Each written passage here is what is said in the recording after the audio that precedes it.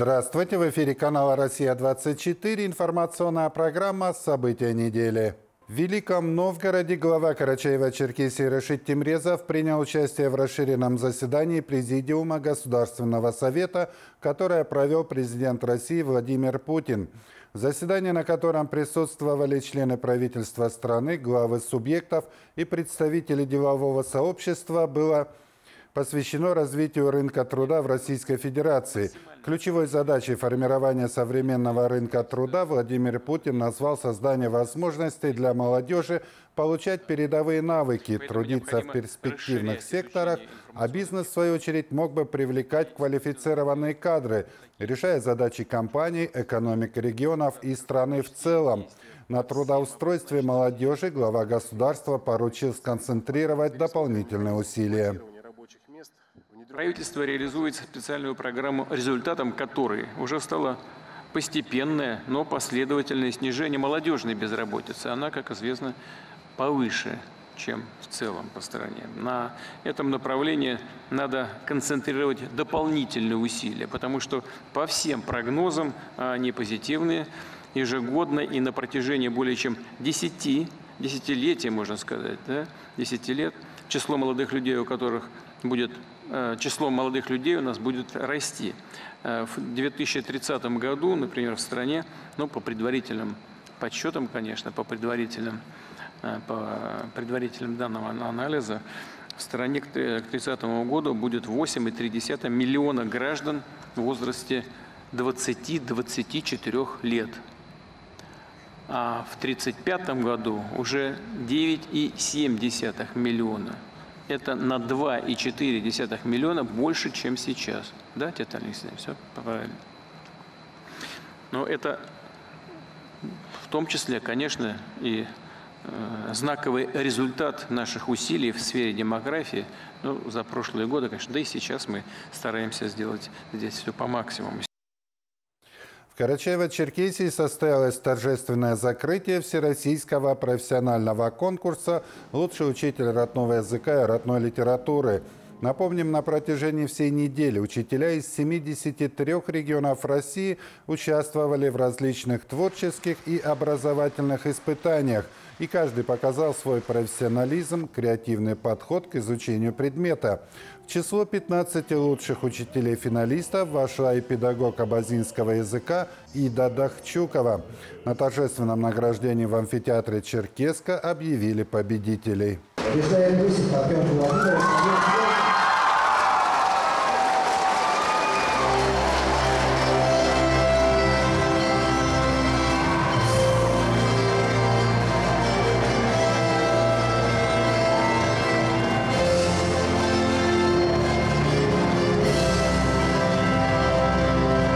Спикер парламента Карачаева-Черкесии Александр Иванов провел рабочую встречу с председателем профсоюза здравоохранения России, председателем общественного совета при Минздраве Анатолием Домниковым. На встрече присутствовали руководители профильных комитетов и ведомств – Стороны обсудили актуальные вопросы развития сферы здравоохранения в регионе. Важными вопросами, озвученными на переговорах, стали помощь медикам, работающим в зоне специальной военной операции и их семьям, заключение соглашений с фондами, поддерживающими участников СВО и коллективных договоров с медучреждениями, а также привлечение кадров и развитие системы оплаты труда работников отрасли. Разговор зашел и о работе общественных организаций.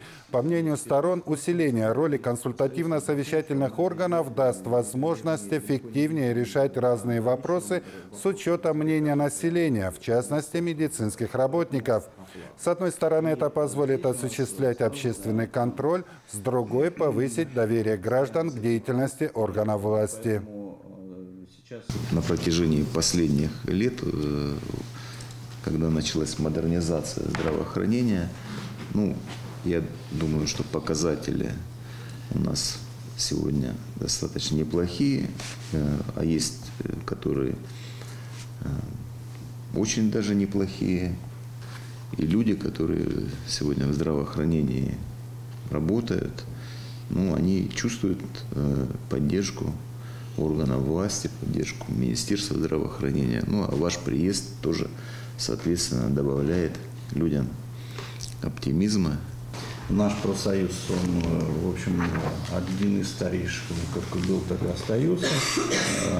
Ну, там новая история, новейшая история, это, это все понятно, мы можем это опустить, но все равно она, несмотря на все перипетии, несмотря на определенное охлаждение, э, так сказать, к профсоюзному движению, но тем не менее мы остаемся очень крупным профсоюзом, наверное, вторым-третьим в стране по численности, и нас более двух миллионов. Это само о себе говорит. Пандемия а, она показала а, действенность медицинских работников. То есть вот что мы были, есть и остаемся э, таким деятельным звеном Э, общества, абсолютно точно. С начала сентября в Карачаево-Черкесии идет вакцинация. По информации Роспотребнадзора, в республике отмечен рост заболеваемости ОРВИ и гриппа. Для предупреждения и профилактики этих заболеваний медики рекомендуют привиться, как это сделали сотрудники Роспотребнадзора. Подробности у Али Баташева. Главный санитарный врач республики Сергей Бескокотов каждый год делает прививку от гриппа на работе. На сегодня это самый эффективный способ профилактики от тяжелых форм заболевания и осложнений гриппа, считает глава ведомства. Я бы хотел сказать, что я не по роду своей деятельности делаю вакцинацию. Я просто думаю о здоровье, о своем в первую очередь, и о здоровье своих близких. Потому что грипп – это такая инфекция, которая на широкое распространение имеет как в мире, так и у нас в Российской Федерации, так и в Карачаево-Черкесии. Поэтому, чтобы сохранить свое свое здоровье и своих близких, нужно ежегодно прививаться. Как вы переносите? Да как обычно, я не знаю, никакого, в принципе, может быть, вечером небольшое такое состояние, некомфортное, я бы сказал. Температура практически не поднимается никогда. В настоящее время в республике зарегистрировано 584 случая заболеваемости ОРВИ и гриппа. В сравнении с предыдущей неделей прирост составил порядка 12%. Иммунитет должен быть подготовлен к встрече с возбудителями гриппа, от которых ежегодно гибнут люди, говорят в Роспотребнадзоре. Вакцинация от гриппа в республике началась в сентябре. В нашей республике получены первые транши вакцин против гриппа. Э, получено э, где-то около э, более 70 тысяч доз взрослых вакцин Совигрипп и Ультрикс Квадри и более почти 27 тысяч детских вакцин Ультрикс Квадри. Вакцины, нужно отметить, что вакцины этого года, как всегда, модернизированные, они актуализированы под циркулирующие ныне вирусы гриппа. Укол вакцины делается бесплатно в соответствии с национальным календарем профилактических прививок. На сегодняшний день 34 326 жителей республики прошли вакцинацию. Для создания иммунной прослойки требуется привить 252 800 человек, что составляет 61% населения Карачаева-Черкесии. Иммунная прослойка позволяет, э, даже не дает э, возбудителям э, заболевания распространяться среди населения. И это дает, во-первых, ну, стопроцентную защиту вакцины не дают, но они снижают интенсивность заболевания. Люди болеют в большей, в меньшей степени. И кроме того, они не дают вирусу распространяться прививки, не дают возможность передаваться от человека к человеку. То есть замедляют этот процесс, и в результате люди болеют меньше, люди болеют э, более в легкой форме. И, э, кроме того, мы не перегружаем во время пика эпидсезона, мы не перегружаем нашу лечебную сеть большим количеством тяжелых случаев заболевания. Эффект от вакцинации сохраняется на протяжении года. Иммунитет вырабатывается от 10 дней до месяца, говорят врачи. При обращении в поликлинику гражданин должен иметь документ, удостоверяющий личность, и полис медицинского страхования. Али Баташев, Мурат Джанкезов, Вести Карачаева-Черкесия. Элитное подразделение СОБР «Клинок» Управления Росгвардии по Карачаево-Черкесии в этом году отмечает свой 30-летний юбилей – Офицерский отряд создали в лихие 90-е для борьбы с террористами и экстремистами. Как и тогда, бесстрашные бойцы сейчас участвуют в оперативных действиях, освобождают заложников и стоят на страже безопасности как в родной республике, так и в зоне проведения СВО. Об отточенном клинке спецотряда в нашей постоянной рубрике «В гостях у Росгвардии» расскажет Александра Коваленко.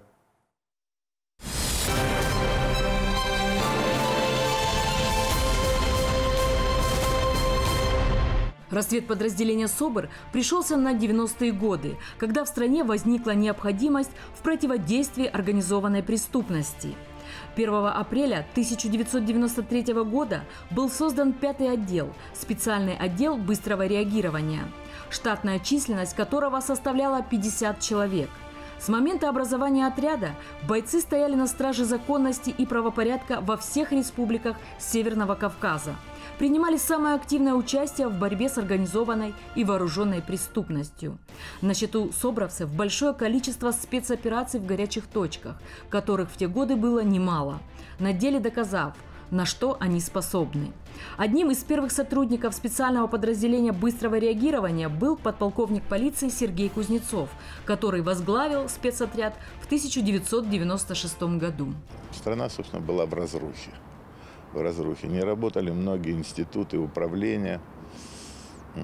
Система, система не действовала. И это привело к тому, что э, начинает сплачиваться организованная преступность. Э, впервые президент тогда Ельцин признает, что да, в России есть воровские авторитеты, воры в законе, то есть есть организованная преступность. То есть есть иерархия воровская. В связи с этим, а, что в эту иерархию стали вытеснять, а, тогда была такая формулировка, братки. Братки – это спортсмены, боксеры, а, борцы, которые тренировались в подвалах. Их стали умные люди, видя перспективу в этих ребятах – сплачивать в коллективы. И направляли их в основном на преступную деятельность. Это вымогательство квалифицированное, шантаж, похищение людей, выкуп. Вот это начало вспышки организованной преступности. И тогда было принято решение создать управление, которое боролись бы именно с организованной преступностью. Тогда не было такого модного слова антитеррор, терроризм. Были бандиты – вот при управлениях по борьбе с оргпреступностью а, нужны были люди, которые бы физически воздействовали на вооруженного преступника. Потому что а, эти группировки, организованные преступные группировки, они владели оружием. У них была экономическая база, у них была выстроена иерархия, строгое подчинение и так далее. Это был очень серьезный и мощный удар и по экономике страны, и по социальной сфере. Люди боялись. Поэтому было принято решение, ну, волка может победить только волкодав. Значит, нужно создать такие подразделения, специальные отделы быстрого реагирования. Что же ставилось в задачу и какая основная цель? Борьба с организованной преступностью, физическое противодействие вооруженным преступникам. Вот за три года в 1996 году мы разобщили и уничтожили 32 бандитские группировки. Мы работали круглосуточно. А, похищение людей. Занимались и розыском, и внедрением в банды. Наши сотрудники, сотрудники внедрялись. Ну, слава богу, мы не потеряли ни одного офицера. Сегодня в задачи СОБР входит участие в борьбе с терроризмом и экстремизмом, непосредственное участие в специальных операциях по предупреждению и пресечению преступлений, освобождение заложников, обеспечение силовой поддержки при осуществлении соответствующими государственными органами следственных действий – оперативно-розыскных и иных мероприятий, связанных с выполнением задач, возложенных на войска Национальной гвардии Российской Федерации.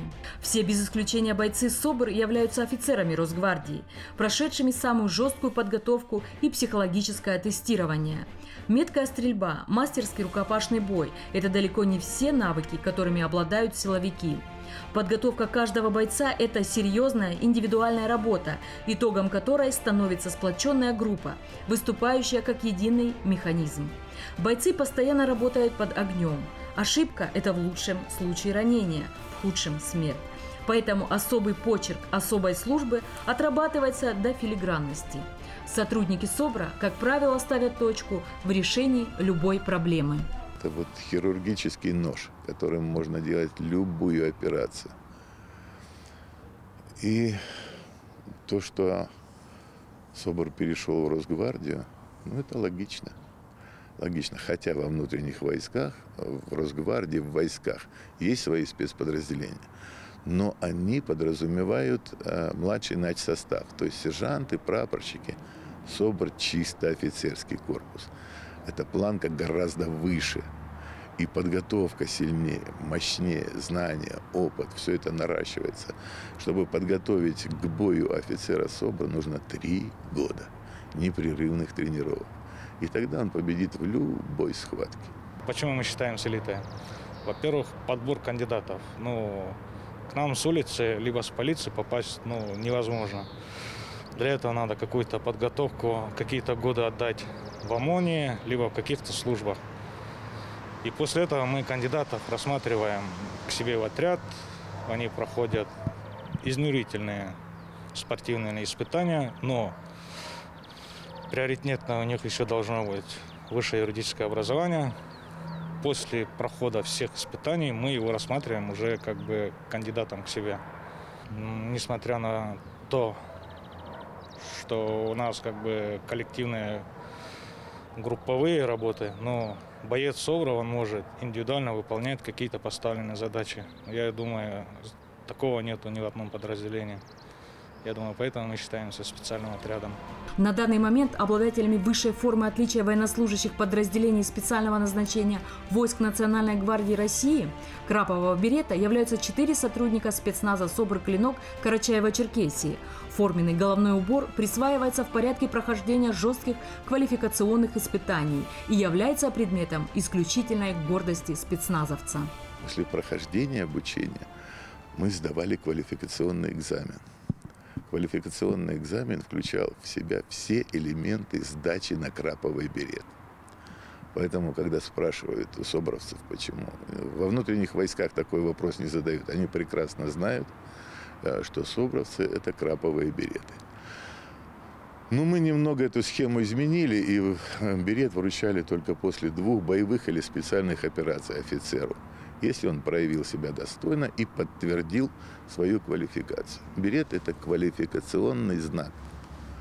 Как вот, знаете, на груди знак квалификации, а у нас на голове. Краповый берет для спецназовца – это, вы знаете, это, это словами не передать. Это э, высшее, что можно вот, э, достичь в спецназе. Сотрудник СОБРа должен быть предан своему отряду, а мужество, выносливость, сила, умение, это все должно быть у него до этого и так. Самое главное, он должен быть своему отряду, своим товарищам. Когда был молодой, привлекало то, что мы были всегда на острие атаки. Время было в моей молодости неспокойное. Это чувство, что ты находишься на наконечнике копья огромной разрушительной карающей силы ну, вдохновляло. В настоящее время сотрудники спецназа «Клинок» Управления Росгвардии по Карачаево-Черкесии выполняют задачи вне пунктов постоянной дислокации. Многие бойцы элитного подразделения отмечены и удостоены высоких государственных и ведомственных наград за свой профессионализм и достойную службу. Конечно, и о доме думаешь, и думаешь э, обо всех. Бывает даже так, о прожитых годах иногда начинаешь думать насколько это было серьезно, было сделан выбор в то время, в далекое время. Эм, не жалеем ни на секунду, не жалеем ни в чем. Не то, что я так считаю. Время показало, что мы там оказались в нужное время. Мы это делаем правильно. И на сегодняшний день, как бы это ни звучало громко, победа будет за нами. Боевой опыт и индивидуальное мастерство стали визитной карточкой сотрудников СОБР, уверенно закрепив за ними лидирующие позиции. Офицеры ежедневно сталкиваются с вооруженными преступниками и рискуют своей жизнью. Однако все бойцы спецназа считают своим долгом продолжать свою настоящую мужскую работу, профессионально выполняя задачи по обеспечению безопасности граждан, которые ставит перед ними руководство страны. Личный состав СОБР «Клинок» неизменно доказывает верность отчизне и присяге, всегда находясь на острие борьбы с теми, кто посягает на российскую государственность и безопасность граждан. Александр Коваленко, Фатима Даурова, Мухаммед Ашибоков, Олег Малхожев, Вести Карачаева, Черкесия.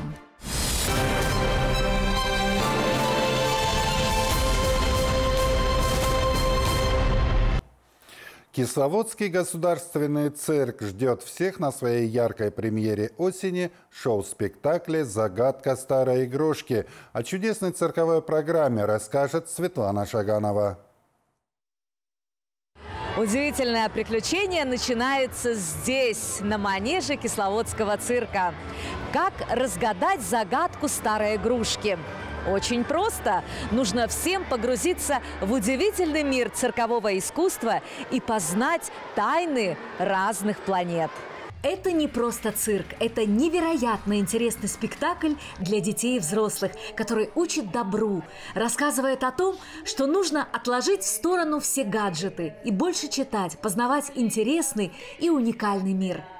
Главная героиня получает в подарок от бабушки старую игрушку – калейдоскоп – в нем девочка видит много интересного, ярких героев, которые вовлекают ее в удивительное путешествие в мир сказок. Эмоций, конечно, тут множество. И радость, и удивление, и страх.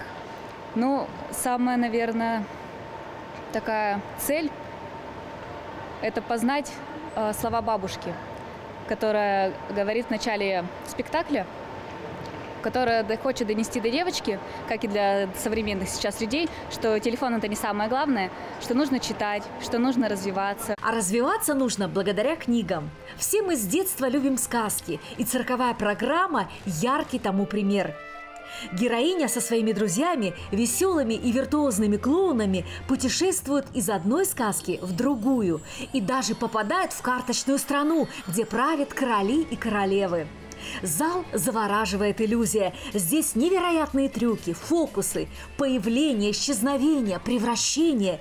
Искусство иллюзий от обладателей высших международных наград – Ну и как же без русских народных сказок, где добро побеждает зло? Здесь Баба Яга – бесстрашная и виртуозная акробатка в компании богатырей, выполняющих сложные трюки. Удивляют и вдохновляют гимнасты на полотнах. Все без страховки. А хрупкая артистка, сияющая золотом, грациозно выполняет номер с обручами. Восток – дело тонкое. И вот мы в Индии. На манеже своенравные кошки, которые удивили кисловодскую публику своими тонкими манерами.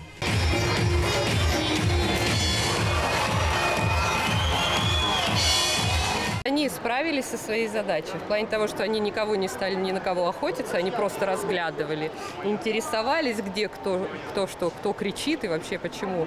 Наш да, номер. Наш номер, мне кажется, отлично. Да и Не... животные, и у нас все хорошо сложилось. Заряжает невероятным позитивом и красотой сафари-шоу. Пони, ламы, крокодилы, змеи и гордые верблюды. А в роли наездников – обаятельные собачки. Яркие костюмы, захватывающие номера и экзотические животные. Шоу «Загадка старой игрушки» надолго останется в сердце каждого зрителя. Дорогие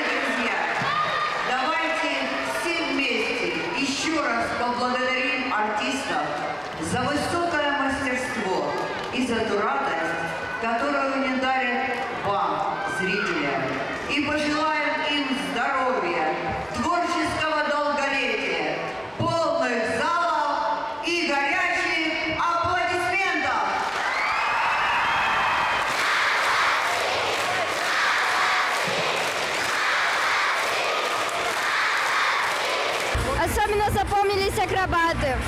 очень интересно, всем желаю посмотреть этот цирк. Мне понравились э, воздушные гимнастки, они очень так э, впечатлили меня. Вообще очень понравилось, все мне понравилось. А тебе? Воздушные гимнасты, акробаты, животные, верблюды. Э, э, все понравилось. Понравилось все. Потрясающее выступление. Сценаристу вообще просто браво. Так поставить э, сценарий, постановка, ну все. От костюмов до движений их, до, до всего. Потрясающе. Всем рекомендую. Бесподобно. Нам все понравилось. Очень все ярко, красиво, необычно. А мне понравилось актерское мастер, мастерство, то, что как они играли. Очень все было реалистично и вообще класс.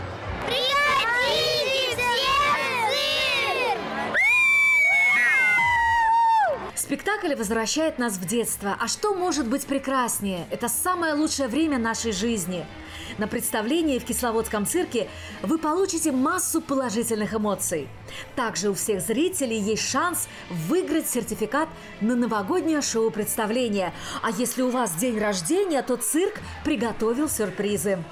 Разгадайте загадку старой игрушки до 15 октября. Светлана Шаганова, Али Бастанов, Вести Карачаева-Черкесия из Кисловодска. Такими событиями отмечена уходящая неделя. Всего вам доброго и до встречи.